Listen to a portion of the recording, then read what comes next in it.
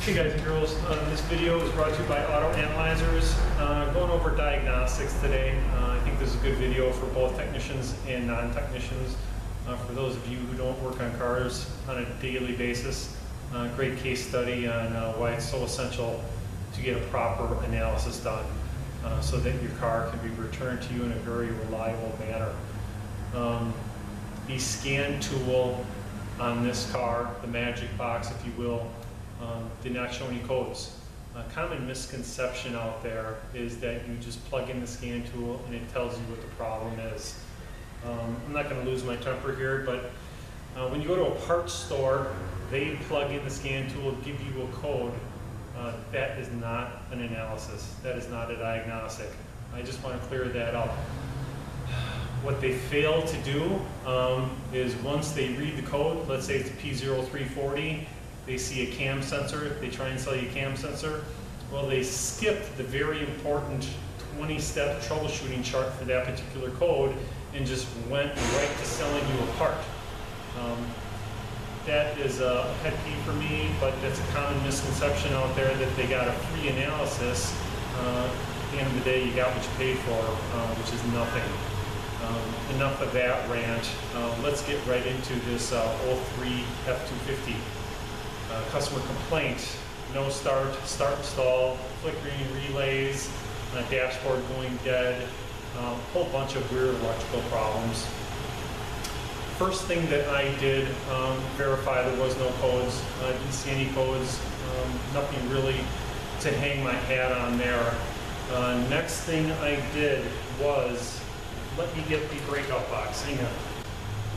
All right, sorry about that. First thing I did was plug in my breakout box, my lovely Pico breakout box. Um, plug that in when the problem was acting up. Uh, only way really to get a proper analysis done on here is get it to act up. Uh, everything else is just guesswork. Uh, customer is very understanding, seemed to really understand the fact that I need the car to act up, and that's the only way we're going to get to the bottom of this problem. Um, maybe that's why the other shops just want to deal with it. It was hard to get it to act up. The second morning I had it, I finally got it to act up, plugged in my breakout box, uh, found that I had power and ground at the OBD link when the problem acted up. Now, it doesn't tell me very much, but it tells me something. Um, so I had good power and ground at the OBD connector uh, when it was acting up.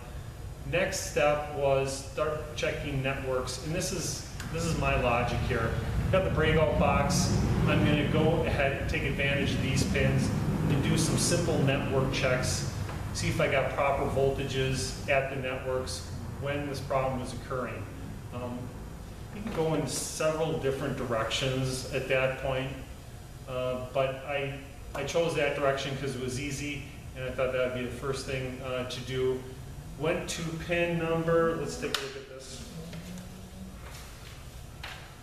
Pin number seven uh, is where I first saw a problem with voltage fluctuation at the time that it was acting up uh, with my Vantage meter.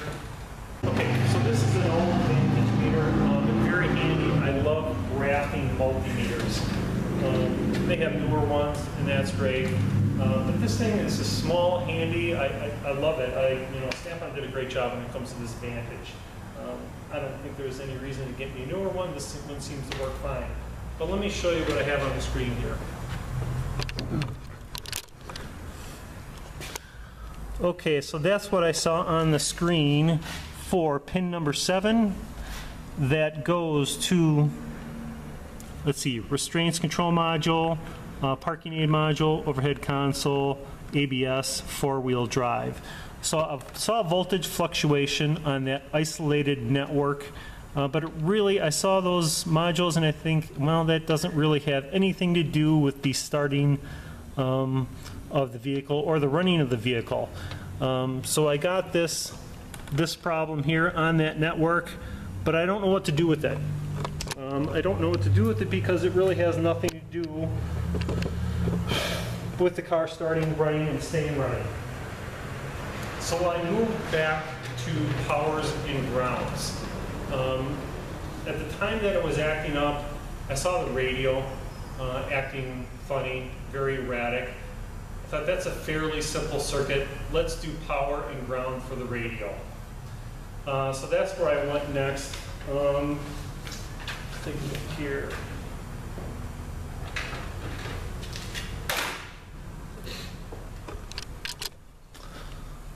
All right, I'll get better at this, I promise. All right, so fuse 11, 20 amp, goes right to the radio. Uh, that was my next check. At that, I found voltage fluctuation from battery voltage down to zero when the problem was acting up. So there is my power distribution problem right there at that fuse. Uh, very simple check traced it back to some fusible links. Uh, typically, once those blow, they stay blown. So I went to the junction box. Uh, let's see if I can zoom in on that a little bit. Okay. Whoops. So that guy right there. Okay. Um, that was, took me a while to find out where that was, but that is the driver's front wheel well is where I found that. So once I found it, uh, this ain't the best picture in the world, but this is what I found. Uh, that's the connection. Not a great connection, but here's the problem. I don't know if that's the problem. I see it's a bad connection, but is it just look bad or is it really bad? Am I losing voltage there? Is that is that the whole problem? Uh, that's a million dollar question. Is that the problem or isn't it? once I touch it or I attempt to clean it up, I don't know if I've solved the problem or if the problem just isn't acting up anymore. So I need a way to verify that that's a problem. Haven't started this truck up at all in the morning, uh, so it hasn't been running yet. At this point, there's a couple different ways to test that. Um, I'm going to kind of show you uh, my method. It's the lazy method, uh, but I think it's a very effective method. Once you get it to act up again, you can certainly check voltage on both ends of that terminal. That's one way to do it. My fear is once I touch it, because this is where I've been before, once I touch that terminal or the wire or anywhere near that, um, I possibly can get a good connection and I've lost my measurement. Uh, so if I probe it with my pins, I'm moving the wires and I may disturb the connection. So here's my issue. How do I check that connection without disturbing it? And this is what I came up with. Um, thermal imaging tool, uh, thermal camera. I really like it because I don't have to touch it. If any circuit on the car that carries a reasonable amount of current has a bad connection, I'll pick it up with this thing. Um, so let me show you what I found when I pointed my thermal imager at that. That is my thermal image. It's not great resolution, but you get the idea.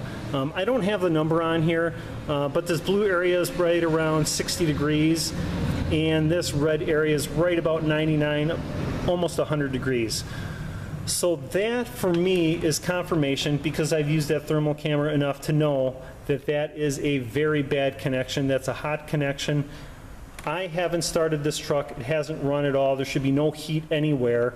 Um, but that is my bad connection, and that allows me to confirm uh, that that is my problem without having to touch it, do voltage drops, or disturb any part of the circuit.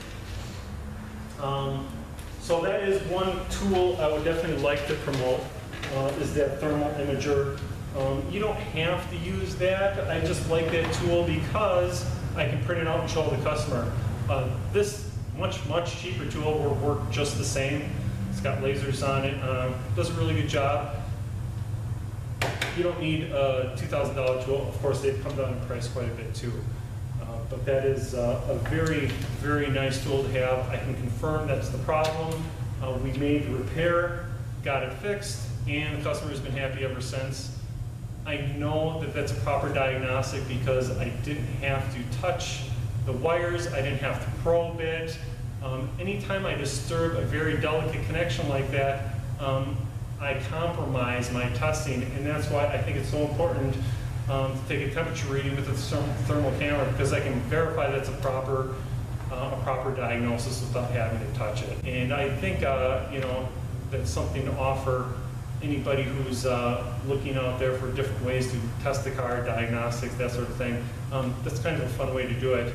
Um, Problem is, it's just so expensive. Um, But again, this will do the same thing at, you know, a tenth of the price. So also a very good tool. Um, Anytime you come across a current carrying circuit that has a bad connection, you should see some heat. Um, And that's how we know that's a bad connection. Um, So yeah, that's pretty much all I wanted to go over today. Um, Again, the Magic Scan tool didn't help me at all. Everybody loves a great scan tool, but that is definitely not always the answer. Sometimes you just need to duke it out, get in there and get your hands dirty, um, as little as possible, of course. I don't like getting my hands dirty. Um, That's why we have a thermal camera. Um, But yeah, thanks guys for watching and hopefully, uh, you know, you learned something today and uh, I'll talk to you soon. Thanks, bye-bye.